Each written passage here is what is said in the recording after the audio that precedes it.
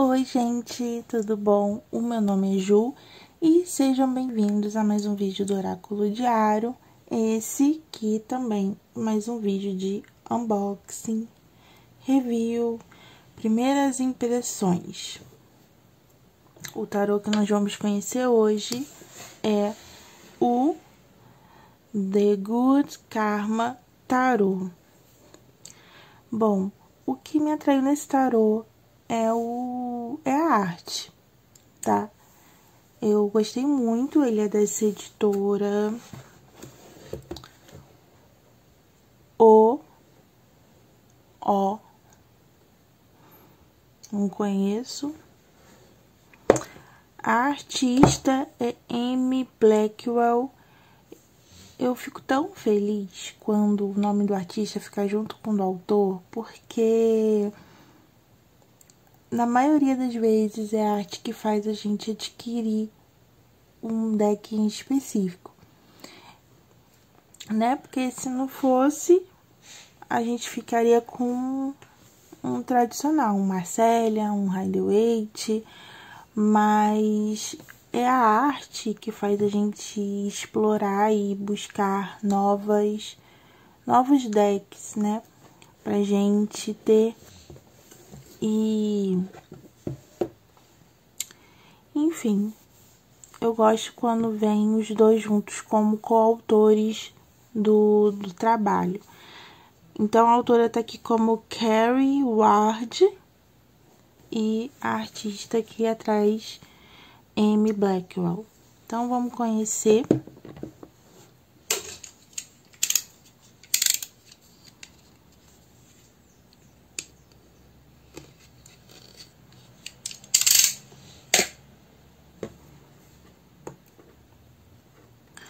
Caixinha dura. Né? Eu gosto de caixinhas assim.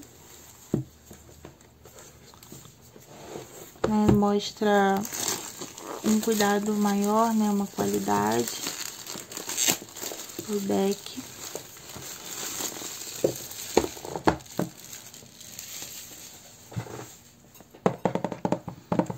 É duro. De abrir por cima, né, vamos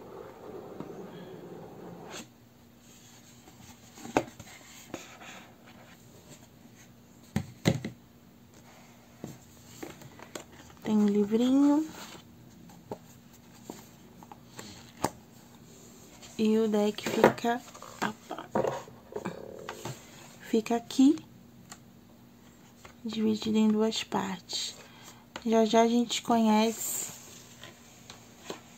as cartas. Vamos dar uma olhadinha no livro.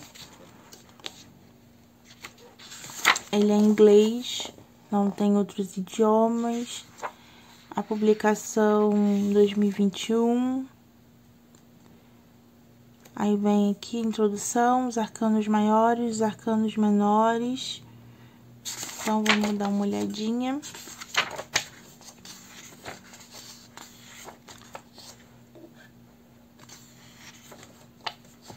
Então vem aqui, ele é todo colorido, não só as ilustrações, mas as páginas. Cada um traz uma cor. Então, é muito fofo. Então, a página inteira ocupada pela ilustração do livro. Tem aqui o nome da carta, uma frase, significado. E uma afirmação. E por aí vai para todos os arcanos.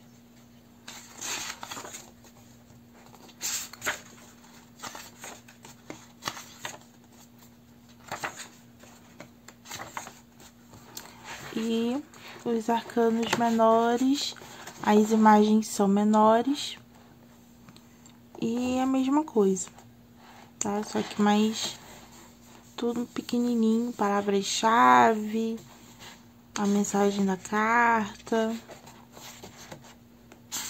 mas também tudo colorido. E aí cada naipe tem uma cor de página.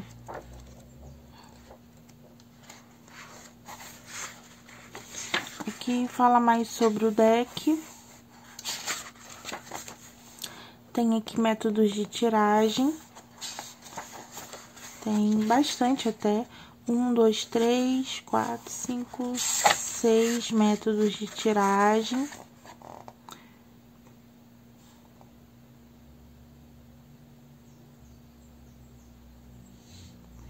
Aqui fala de usar cartas como talismãs para determinadas situações.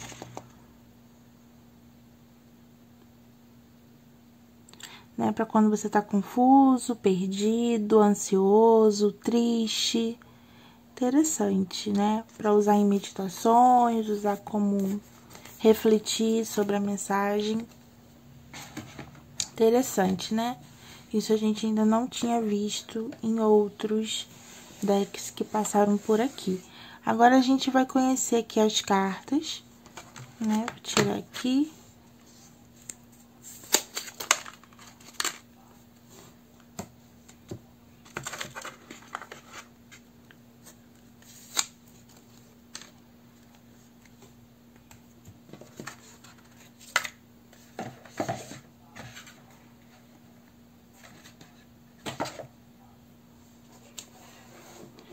Esse aqui o deck. Ele é fininho, tá? Mas não muito, mas é um pouquinho flexível, tá? Mas dá a sensação de que você, se você força muito, ele quebra, tá? É, ele é plastificado, ele tem esse acabamento brilhante. Essa aqui é a parte de trás, é um amarelo, mas não é forte, não é chamativo. Mas acredito que combine bem com, com o deck por ter ser de muitas cores, bem alegre. Os arcanos, eles não têm números, pelo menos os maiores, eles só têm o nome, né? Pelo que a gente pode ver aqui. Os arcanos menores também, o, o nome que vem dizendo o número, não tem nenhum outra numeração na carta.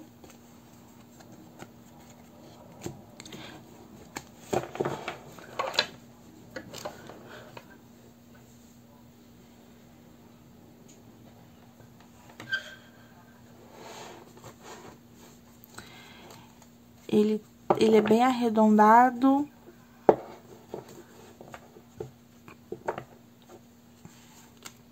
Eu gostei da pegada dele. Ele não é tão pequenininho, mas também não é enorme. Eu achei ele grande, mas também nada que, que seja extremamente grande, como aquele tarô dos druidas. Tem aqui no canal, tem até eu diminuindo o tamanho dele também na playlist. Ele não tem bordas, eu gosto de tarô sem borda. Não tem nada contra os que tem, mas eu acho mais bonito quando não tem. Então, vamos conhecer aqui as cartas.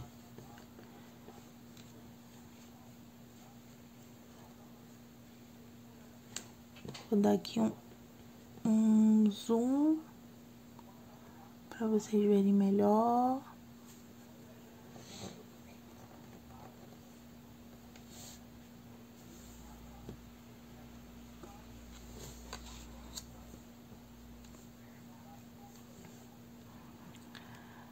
Mago ele não vem os elementos, mas ele vem na mão os instrumentos de arte, né? É onde que ele vai criar. E pelo que eu vi aqui, a maioria das cartas são representadas por mulheres, né? E elas são de várias cores, né? Vários tipos, várias cores de cabelo. Vamos conferir aqui essa diversidade, né? Tons de pele.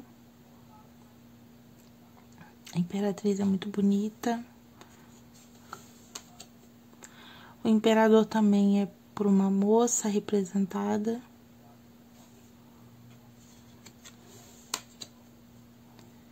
Hierofante.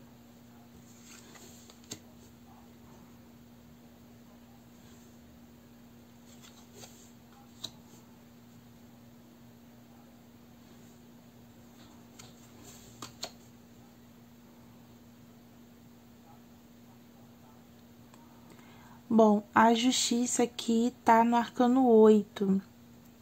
Então, os arcanos maiores aqui, eles seguem a linha do Marcélia. Vamos depois acompanhar os arcanos menores.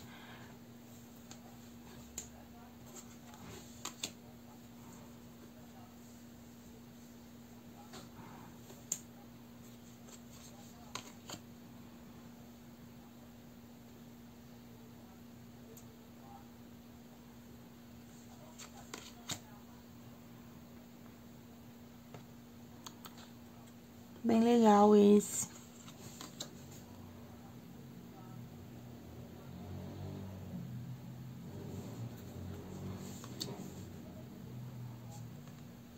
Bonito. Eu tô gostando muito. Temperança.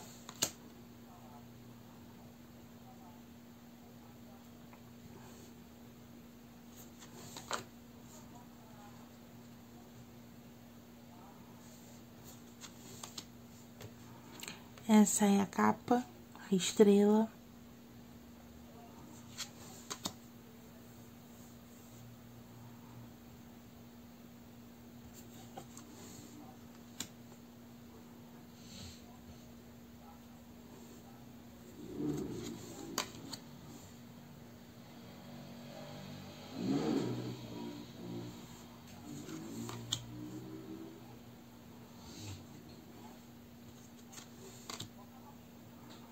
Agora a gente vai conhecer os arcanos menores, naipe de paus.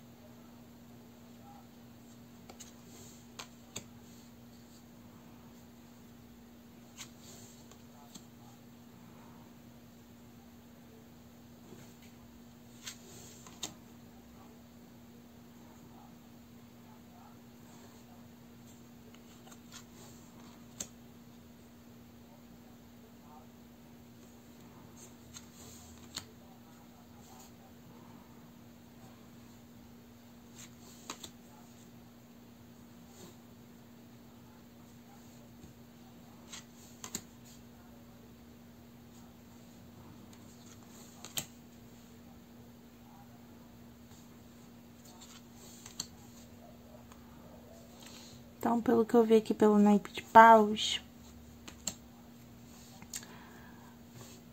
ele segue muito a linha do Rider-Waite Smith, mas ele tem, traz uma interpretação dos arcanos própria aí da, da autora, da artista, porém, os arcanos maiores ele inverte a força e a justiça. Então, ele traz conforme o Marcelo.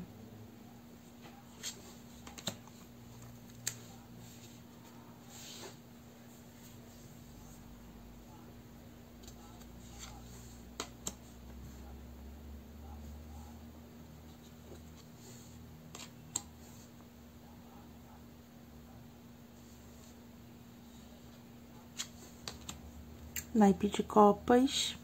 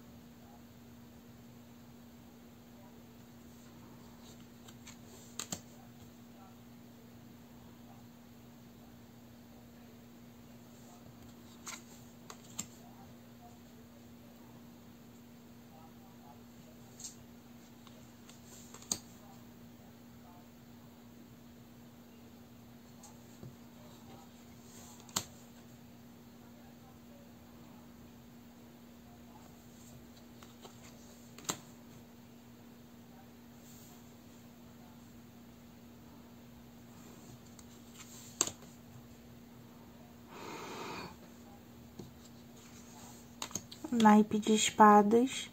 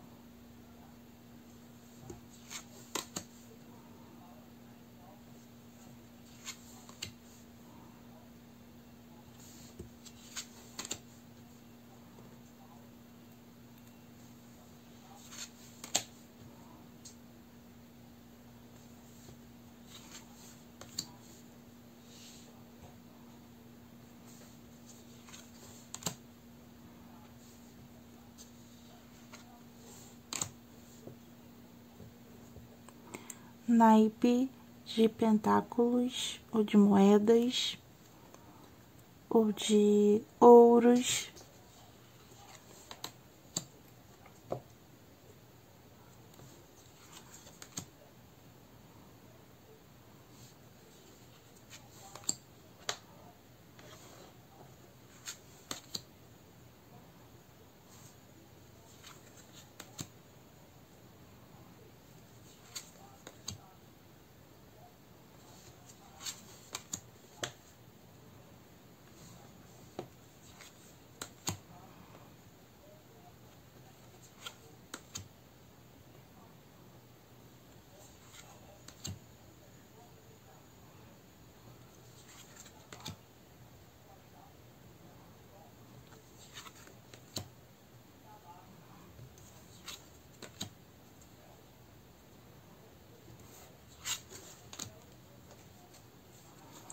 Bom, eu gostei muito, me agradou muito as imagens.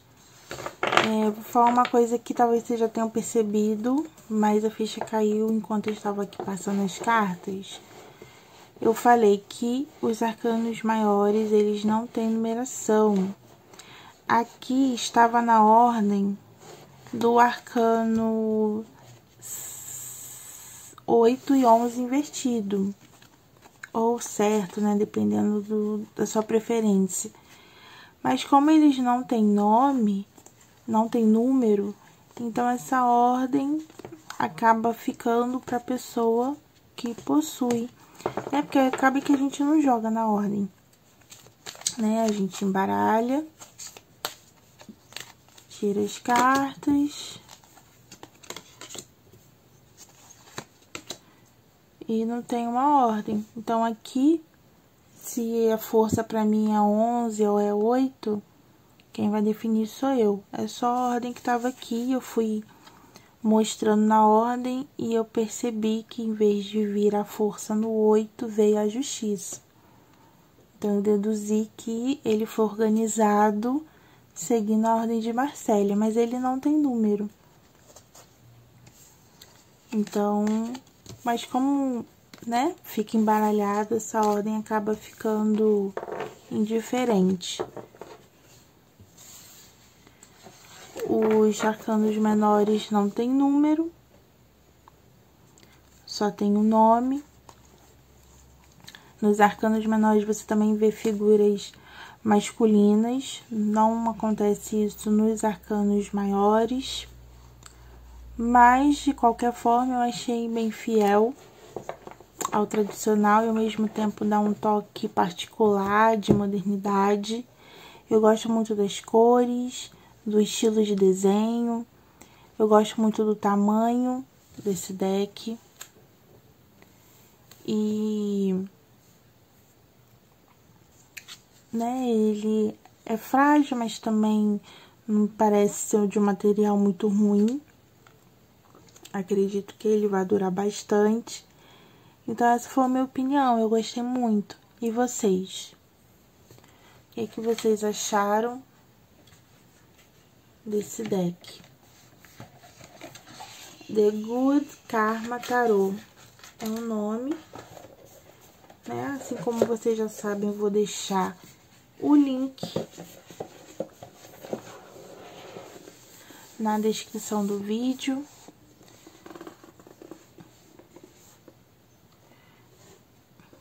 Esse é o nome.